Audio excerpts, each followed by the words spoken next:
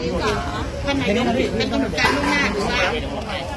ที่ที่ไปดักนั้นนะคะดำเนินการมาหลายวันแล้วนะก็เป็นเรื่องที่จะต้องไปไปดูแลเอ่อเกี่ยวกับเรื่องเกษตรกรเรื่องที่ทางจากเขาด้วยแก้ปัญหาเขา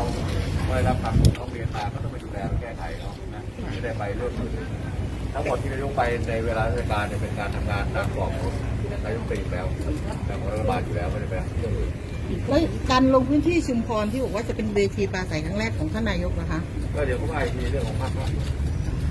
ตรงนี้เห็นว่าในวันเดียวกันก็จะมีพลเอกประวิตยไปช่วงเช้าแล้วใครจะไปก็ไปสิมันแผ่นดินผืนที่ใครไปไหนก็ไปได้หรือใครจะไปก่อนไปหลังก็ไม่เห็นมีปัญหาที่ผมไม่ได้ขัดข้องเพราะฉะนั้นอย่าไปเสนอข่าวตองนี้นะผมว่าไม่เกิดประโยชน์อะไรทั้งสิ้นนะนะ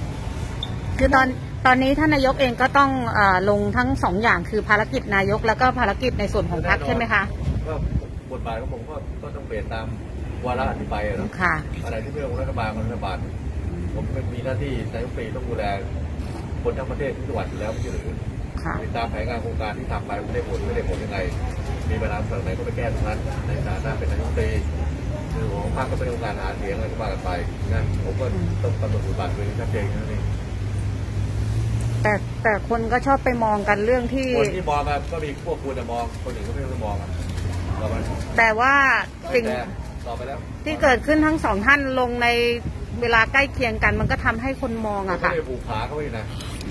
ไม่ได้ผูกขาผมผมไปไหนก็ไปได้ไปไหนก็ไปได้ ไปเวลาเดียวกันก็ได้ไม่มีปัญหาหรอกมองว่าเป็นยุทธศาสตร์ไหมคะเพราะว่าในกระแสท่านนายกจะมีมีเฉพาะเรื่องท่านนายกกับพลเอกประวิตยด้วยเรื่องค่ะเศรษฐกิจแล้วค่ะ